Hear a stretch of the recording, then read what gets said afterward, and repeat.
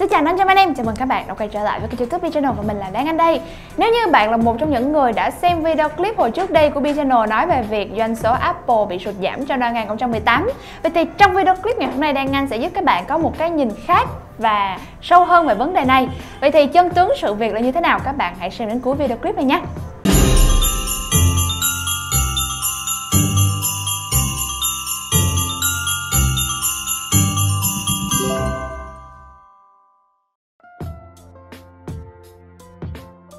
Ngoài quan sát và theo dõi các tin tức mà mình đọc được, thì đúng là những cái sản phẩm mà Apple đã mắc trong năm nay có một số lượng sụt giảm đáng kể.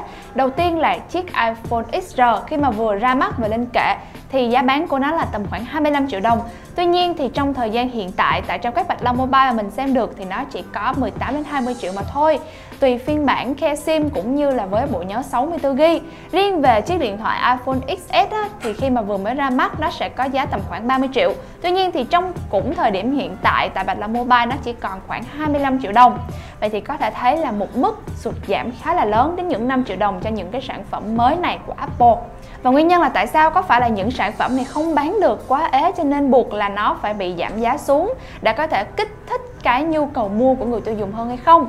Và nghĩ đi cũng phải nghĩ lại, chúng ta thấy rằng tự thân những cái sản phẩm này đó đã có những cái khuyết điểm.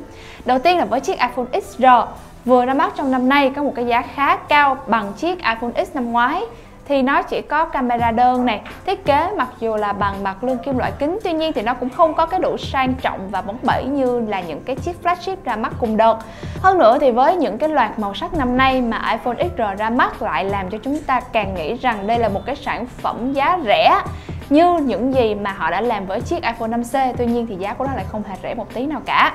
Tiếp theo đến chiếc điện thoại iPhone XR nó cũng mang được những cái điểm yếu, đó chính là nó hoàn toàn rất là giống với chiếc iPhone XS Max chỉ trừ cái là cái kích cỡ thiết kế của nó mà thôi. Vậy thì rất là đông đảo người tiêu dùng sẽ nghĩ rằng à tôi chỉ cần bỏ thêm một chút đỉnh nữa thôi là được sở hữu được một cái sản phẩm best nhất của năm nay rồi. Vậy tại sao có gì tôi lại phải mua iPhone XS đúng không?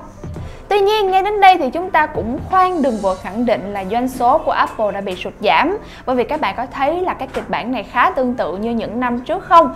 À, chúng ta sẽ được nghe rất là nhiều tin tức về Apple sụt giảm doanh số, sản phẩm này không bán được, sản phẩm kia không bán được. Tuy nhiên biết đâu đây chỉ là một cái hình thức để Apple đánh bóng tên tuổi và gây chú ý mọi người để họ biết đến mình nhiều hơn. Và sau đó thì Apple cũng lại chính là kẻ sẽ lật ngược cái ván bài này Chẳng hạn như là các bạn nghĩ tôi thất bại thật sao? Nghĩ tôi bị sụt giảm doanh số thật sao? Tuy nhiên hãy nhìn đây, doanh số bán được của tôi vẫn nằm trong top kỷ lục đó nha. Chúng ta cũng biết được những thông tin rằng giá cổ phiếu Apple sụt giảm mạnh nè, vốn hóa thị trường bốc hơi hàng trăm tỷ USD và chuyên gia phân tích dự đoán là doanh số iPhone cũng sẽ sụt giảm. Các nhà cung ứng cho biết là Apple đã cắt bớt đơn hàng iPhone XR giảm giá tại Nhật Bản, iPhone X có thể hồi sinh để bù đắp cho iPhone XS.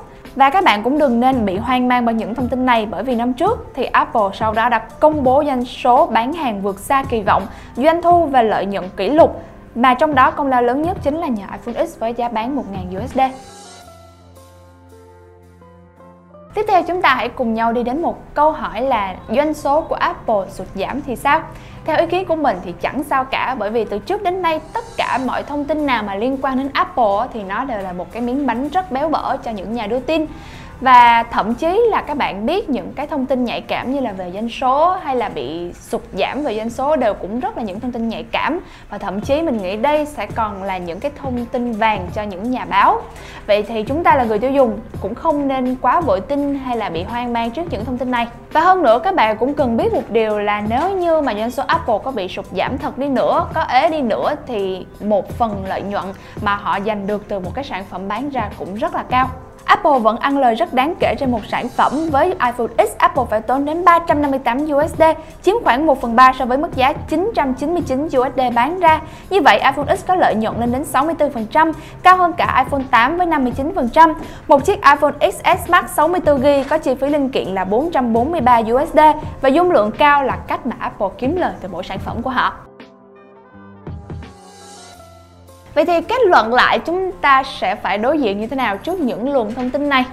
Mình nghĩ là dù có ế hay không ế, thì nếu như bạn cảm thấy cái sản phẩm mà Apple mang lại cho bạn hợp với nhu cầu của bạn để bỏ tiền ra, thì các bạn cứ hãy mua nó đi. Bởi vì các bạn cũng không nên là những người mua theo trào lưu hay là nên dựa vào doanh số để mua cả. Bởi vì làm như thế thì sẽ rất là bất lợi cho bạn. Biết đâu đó là một cái sản phẩm mà bạn rất cần hoặc là những bạn đang có ý định mua iPhone X nhưng lại chần chừ vì sợ nó đã bị khai tử và nếu như điều này thành sự thật, thì khả năng cao iPhone X sẽ được hồi sinh và sẽ vẫn được tiếp tục hỗ trợ lâu dài. Và nếu như nó không bị sụt giảm thì cái việc mà Apple nhập màn hình OLED về cũng vẫn hoàn toàn hợp lý, bởi vì họ vẫn có thể củng cố và nâng cấp cũng như là sản xuất nhiều hơn những cái sản phẩm như là iPhone X hay là iPhone XS Max. Tuy nhiên, dù thế nào đi nữa thì iPhone vẫn có lý do để tin tưởng và hy vọng vào những chiến lược sản phẩm và chế độ hỗ trợ lâu dài của hãng. Ok, vừa rồi chúng ta đã cùng nhau bàn luận một vấn đề hết sức vĩ mô đó là chiến lược kinh doanh của Apple và thông tin là doanh số Apple bị sụt giảm trong năm 2018 này.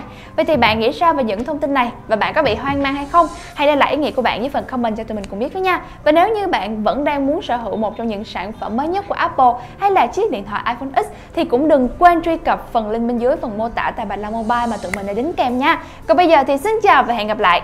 Hẹn gặp các bạn trong những video lần tới. Bye bye!